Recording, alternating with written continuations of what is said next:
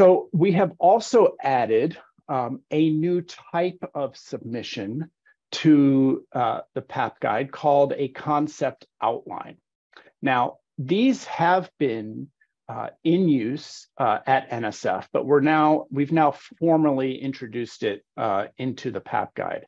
And what it is is it's a concise summary of a project idea that contains information about the prospective PIs, um, uh, the the relevant uh, NSF organizational units, project title, keywords, and a brief narrative um, of the idea that that fit to any special criteria for a proposal type or funding opportunity.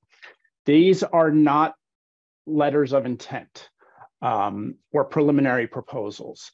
The primary purpose of requiring a concept outline is to ensure that the concept that's being proposed by the prospective PI is appropriate uh, for the proposal or, or type of funding opportunity.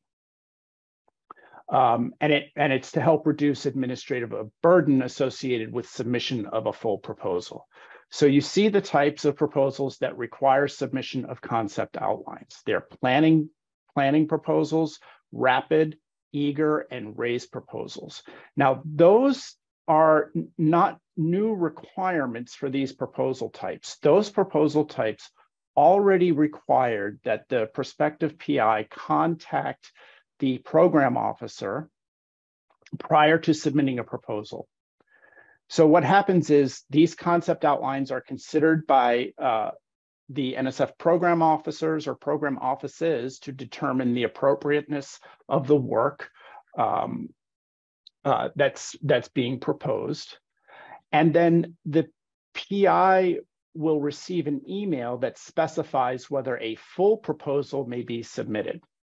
Now, for these types of proposals, the planning, rapid, early, the eagers, and the raises, you the PI then takes that email and includes it as part of their proposal in, in the section in research.gov called the program officer concurrence email.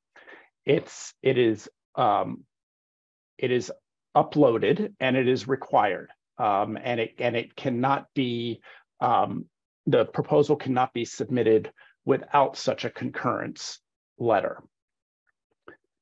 Concept outlines can also be submitted at any time by PIs or prospective PIs that are seeking early feedback uh, on the appropriateness uh, of, of their project um, and, uh, and whether it is relevant for a specific funding opportunity. So there are two ways that these concept outlines can be submitted.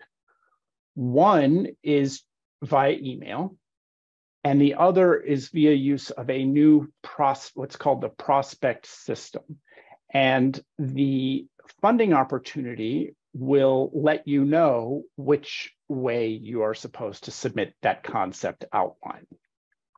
So this uh, ProSPCT system um, is um, is a ProSPCT, obviously you can see it's a another acronym and it's short for the uh, Program Suitability and Proposal Concept Tool. Um, if there's an NSF funding opportunity that requires a concept outline, uh, it will there, there will be instructions on whether it's being done by use of email or via ProSPCT um, and specific guidance on email formatting or, or use of this web form. Now, Sometimes you might see this in a funding opportunity in a, in a program solicitation, but you might also see it in a Dear Colleague letter. So a Dear Colleague letter might, for example, uh, call for or ask for proposals to be submitted to uh, for uh, planning grants.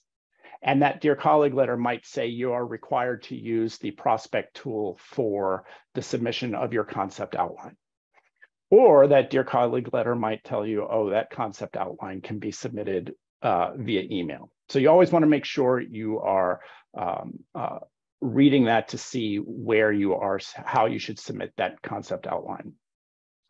The tool itself, um, it's a web form, so you're complete. There's there's uh, there there will be pre-filled information um, and also drop downs and other uh, fields that you just that that are uh, free-form um, entries. You have to have a um, a login.gov account to access uh, this tool and to use it.